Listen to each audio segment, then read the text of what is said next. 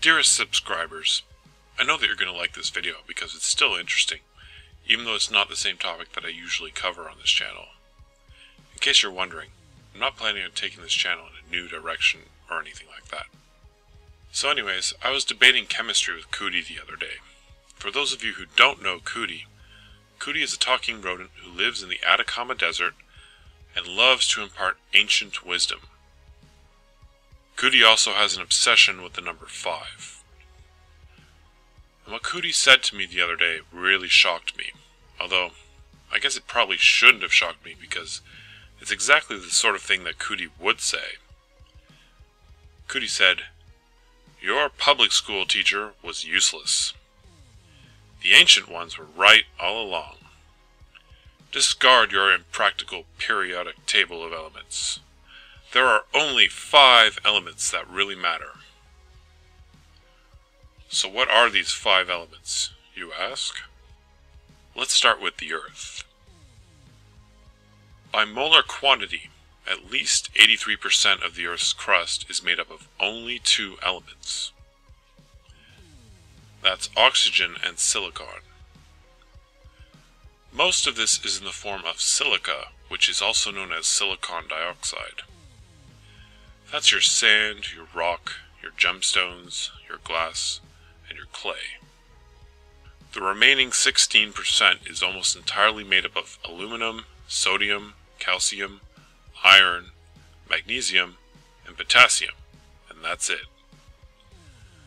The other hundred or so elements on the periodic table are so incredibly scarce here on Earth that they're really not even worth mentioning.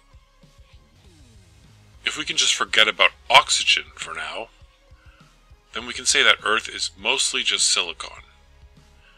Why call it planet Earth? We might as well just call it planet silicon. Earth is essentially silicon, and silicon is number 14 on the periodic table of elements. Water. Water is H2O or dihydrogen monoxide, as we all know. So if we just forget about the oxygen, then all we have left is hydrogen. Water is essentially hydrogen, and hydrogen is number one on the periodic table of elements. Air. The air that we breathe is roughly 80% nitrogen, and the rest is almost entirely oxygen. But let's just forget about oxygen for now. Air is essentially nitrogen, and nitrogen is number 7 on the periodic table of elements. Fire. The vast bulk of what burns on this planet is carbon based. We are oily carbon based creatures.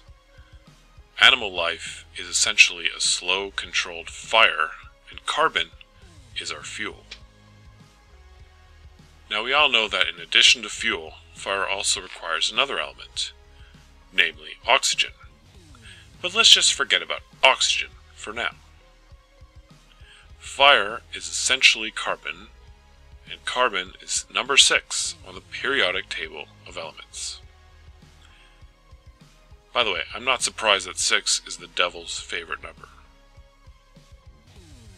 Ether.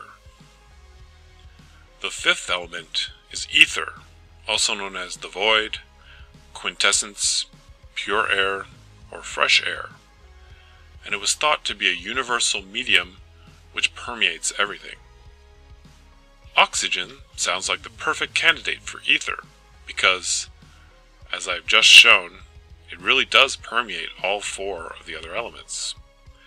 And it definitely adds a certain freshness and purity to the air. So there we have it.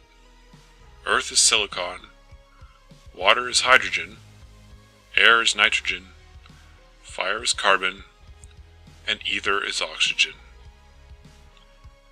So I guess the ancient ones were right all along. If you think that I have any of my facts wrong, I challenge you to debunk anything that I've said in this video. You doubt me? Do the research. Do the math. Just try to prove me wrong. Also, to Ted Turner, if you're watching, Please let me do a TED Talk. I promise to do a better job than Steph Guthrie. And you let her do one. Please. I promise. You won't regret it. Cootie will do you a big favor that Cootie doesn't offer to just anyone. It's your call.